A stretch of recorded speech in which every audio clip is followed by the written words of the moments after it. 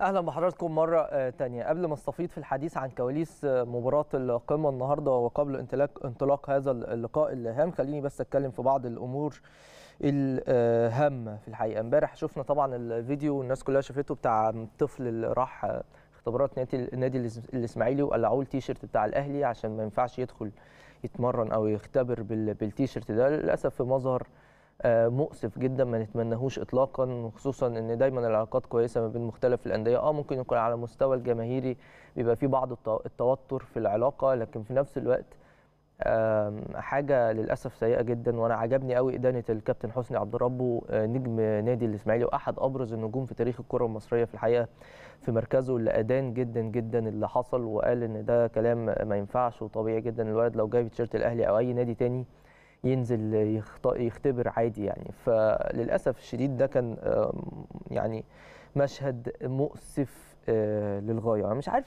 حتى الراجل اللي كان بيتكلم معاه ليه كمية الغل دي يعني؟ ليه كمية الغل اللي أنت صدرتها للولد يعني؟ وإيه كمية التعصب اللي أنت بتحاول تخلقها في أطفال لسه صغيرين يعني؟ إيه ليه يعني؟ عشان إيه؟ إيه اللي جرى يا ابني؟ إيه القصة يعني؟ موضوع عادي جدا. وياما ياما أنا واحد كنت مراسل في قناة الأهلي كنت بنزل أغطي الاختبارات وكنت بشوف والله العظيم مش مش مبالغة وحياة ربنا بجد كنت بشوف ناس آه، أطفال جايين بتيشيرتات الزمالك عادي بيختبروا عادي عادي ولا حد بيكلمهم خالص يعني نادي الزمالك الزمالك نادي كبير ومحترم ناس جاية بتيشيرت الاسماعيلي وناس جاية بتيشيرت المحلة وناس جاية بتيشيرت كل عادي جدا جدا. فللأسف مشهد كان مؤسف. لكن الأهلي كان حريص جدا على يعني محاولة في التواصل مع الولد لو حابب يجي يختبر في النادي الأهلي. وبالفعل الكابتن خالد بيبو كان يعني عايز كده لو مدير قطاع الناشئين في الحقيقة يعني ولفتة طيبة جدا منه. وراح النهارده الولد اختبر في النادي الأهلي ودي صور ليه اللي حضراتكم شايفينها على الشاشة آه، أثناء آه، الاختبارات. و واختبر النهارده في النادي الأهلي بنفس التيشيرت الأحمر تيشيرت آه، قفشة. وبالمناسبة كمان هو اجتاز الاختبار الأول اجتاز الاختبار الأول يعني هو النهارده نجح في الاختبارات تمام؟ فهيبقى عنده اختبار تاني يوم الجمعة اللي جاية بإذن الله برضو في مقر الأهلي بمدينه نصر أو فرع الأهلي في مدينة نصر اللي هو المكان اللي بيبقى فيه الاختبارات هو ده الولد.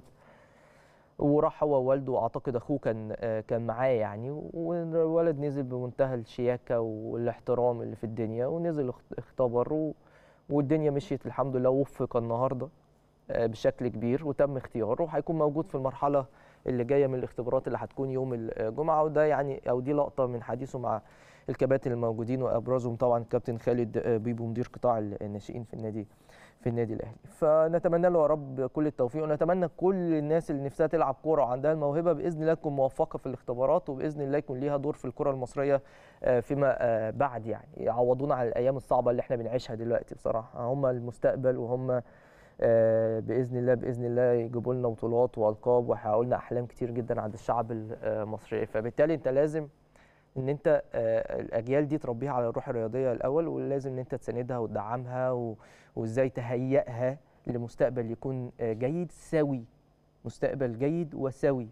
ما يكونش مليء بالتعصب ولا بالشحن ولا بالأمور اللي إحنا آه، بنشوفها دي.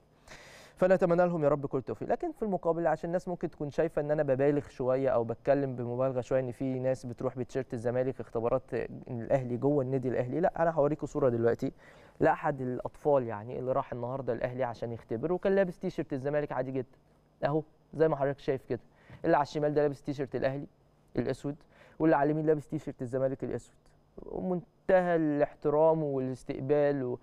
ليه؟ أصل يا جماعة الموضوع مش مستاهل والله. يعني كلنا اخوات وكلنا البيت فيه أهلاوي وزملكاوي. أي بيت فيه أهلاوي وزملكاوي. فموضوع عادي يعني. فشوف الاهلي استضاف الولد إزاي. مفيش أي مشكلة خالص. نزل اختباراته. وما أعرفش دي استمارة بتاعة الاختبارات ولا دي الاستمارة اللي نجح من خلالها فهيروح للمرحلة اللي بعد كده. وأنا أقول لك أهو الولد اللي كان في الإسماعيلي وجه اختبر النهارده في الأهلي لو عنده فرصة هيروح يختبر في نادي الزمالك هيروح. إيه المشكلة ولو راح بتيشيرت النادي الزمالك من المفترض إن يتم استقباله بشكل آه، جيد عادي لا تقول له اقلع التيشيرت واقلع اللي أنت لابسه ده بسرعة مش عارف إيه يعني. ليه؟ عشان إيه يعني؟ فده كان شيء آه، مهم جدا نتمنى التوفيق للجميع.